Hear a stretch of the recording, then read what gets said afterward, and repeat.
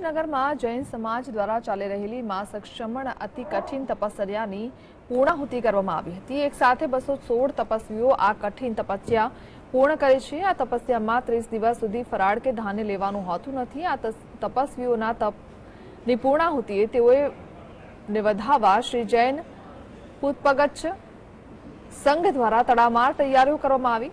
આ પાણાનો ઉત્સવ પણ ભજુ શહેર માટે અવિસ્મરણીય બની રહેશે. સામૂહિક તપશ્ચર્યાના ક્ષેત્રને આ વર્ષે ભુજ અવ્વલ બની રહ્યું છે. તો સાતસો બાણુંથી વધુ આરાધકો મહામૃત્યુંજય તપમાં જોડાયા હતા. ભુજની વસ્તીના સંદર્ભમાં આ કલ્પી ન શકાય તેવો રેકોર્ડ છે. રોજના પ્રવચનમાં સાતસોથી આઠસો ભાવિકોની હાજરી રહેતી હતી.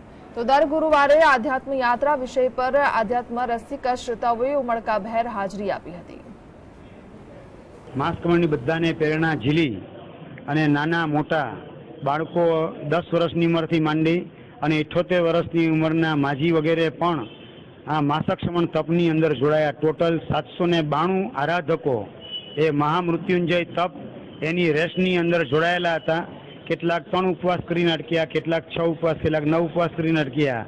આજે છેલ્લે અનેક મુસીબતોની વચ્ચે પણ ચક્કર આવે, આંખે અંધાર આવે, અશક્તિનો અનુભવ થાય, કોઈને તાવ વગેરે આવે, આવા અનેક કસોટીના પ્રસંગની વચ્ચે પણ મજબૂત મન કરી પરમાત્મા ઉપરની શ્રદ્ધાને દ્રઢ કરી, પરમાત્માની કૃપાને પ્રાપ્ત કરી અને બસો ને સોળ આરાધકો આજે ભુજની અંદર મહામૃત્યુંજય તપ, એટલે કે જૈનોનું માસક સમણ તપ, એટલે કે ત્રીસ દિવસના ઉપવાસ, જેમાં દિવસે માત્ર પાણી પીવાનું ખોરાક બિલકુલ નહીં લેવાનો ફ્રૂટ પણ નહીં, ડ્રાય ફ્રૂટ પણ નહીં અને રાતના સમયે પાણીનો પણ ત્યાગ કરવાનો, ખોરાકનો પણ ત્યાગ કરવાનો. આવા જૈનોના ઉપવાસ, ત્રીસ ઉપવાસ, એની તપસ્યા બસો ને સોળ આરાધકો એ પરિપૂર્ણ કરવા માટે આવેલા છે.